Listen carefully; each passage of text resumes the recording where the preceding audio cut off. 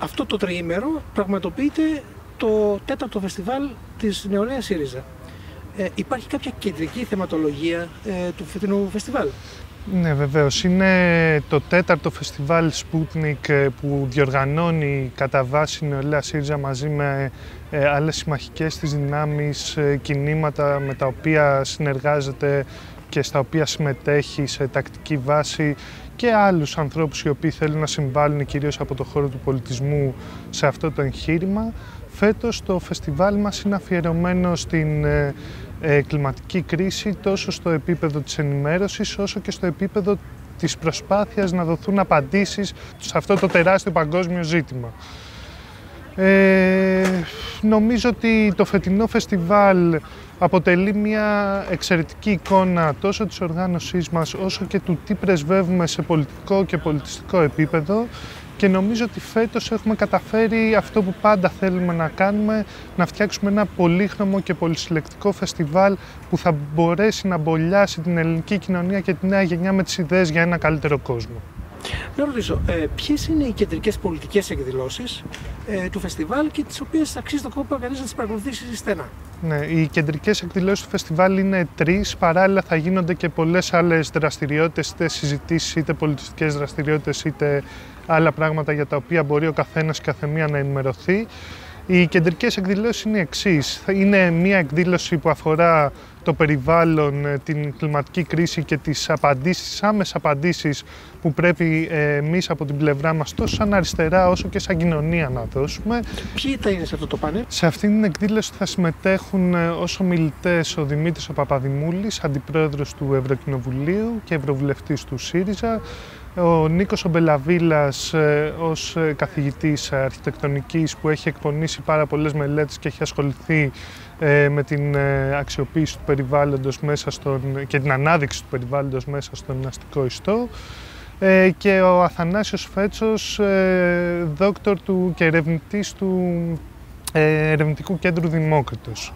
Παράλληλα θα, θα μιλήσουν, θα κάνουν παρεμβάσεις και εκπρόσωποι από, την, από διάφορες κινήσεις, κινήματα, και οργανώσεις που ασχολούνται με τα περιβαλλοντικά ζητήματα. Η δεύτερη εκδήλωση αφορά την, ε, ειρηνική, την ειρηνική συμβίωση ε, στα Βαλκάνια και την καταπολέμηση του εθνικισμού με κυρίαρχο ζήτημα την κύρωση και εφαρμογή της ε, συνθήκη των Πρεσπών. Σε αυτήν την εκδήλωση θα μιλήσει ο Γιώργος Κατρούγκαλος, ε, βουλευτής του ΣΥΡΙΖΑ και πρώην Υπουργός Εξωτερικών, ο Κώστας Αργυρός, δημοσιογράφος της ΕΡΤ με μεγάλη ενασχόληση στα ζητήματα των ε, ε, διεθνών θεμάτων, διεθνών σχέσεων που έχει αναδείξει κατά καιρούς με ντοκιμαντέρ και εκπομπές πάρα πολλά θέματα και μία βουλεύτρια από το Κοινοβούλιο της Βόρειας Μακεδονίας.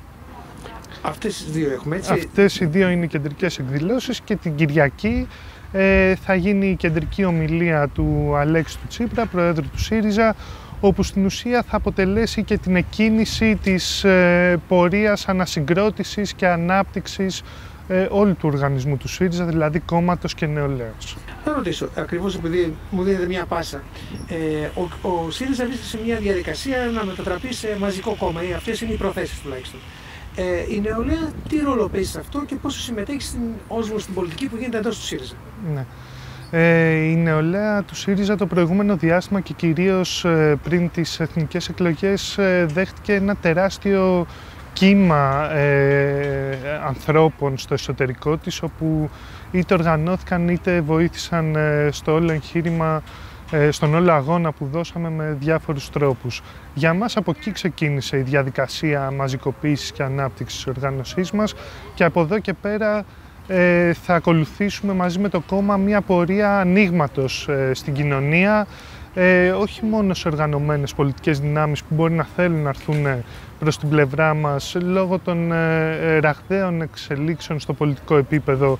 που επιφέρουν οι, οι πολιτικές αλλαγές που έχουν συμβεί, αλλά κυρίως θέλουμε να ανοιχτούμε σε όλον αυτόν τον κόσμο, ο οποίος πίστεψε, στήριξε με το δικό του τρόπο το ΣΥΡΙΖΑ, ψήφισε όλα αυτά τα χρόνια το ΣΥΡΙΖΑ, να μάθουμε να ακούμε τον λαϊκό απλό κόσμο και να μπορέσουμε έτσι όλοι μαζί να ξαναχτίσουμε ένα μαζικό λαϊκό κόμμα το οποίο θα εκφράζει τις σύγχρονες ανάγκες της κοινωνίας και κυρίως της νέας γενιάς. Επειδή ακριβώς στο επίπεδο της νεολαίας δεν ήσασταν ποτέ μια μαζική οργάνωση. Θα πάρετε κάποιες πρωτοβουλίες προς αυτήν την κατεύθυνση; Η νεολαία ΣΥΡΙΖΑ το επόμενο διάστημα θα εκπονήσει δικιά της αυτόνομη καμπάνια ανοίγματος της οργάνωσης στην κοινωνία,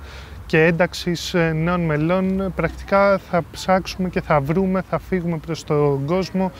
και θα ψάξουμε να βρούμε όλον αυτόν τον κόσμο ο οποίος μας στήριξε ε, και το προηγούμενο διάστημα και το τελευταίο διάστημα, κυρίως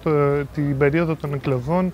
και έτσι να καταφέρουμε να οργανώσουμε μαζί με τη νέα γενιά όσο το δυνατόν ευρύτερες αντιστάσεις και κυρίως να χτίσουμε ξανά μαζί ε, το νέο όραμα για τη νέα εποχή. Ε, παράλληλα θα συμπορευτούμε με το κόμμα στην τρίμηνη καμπάνια που ξεκινάει μετά το φεστιβάλ της νεολαίας. Την εκκίνηση ε, της καμπάνιας αυτής θα την κάνει ο Αλέξο Τσίπρας στο φεστιβάλ μας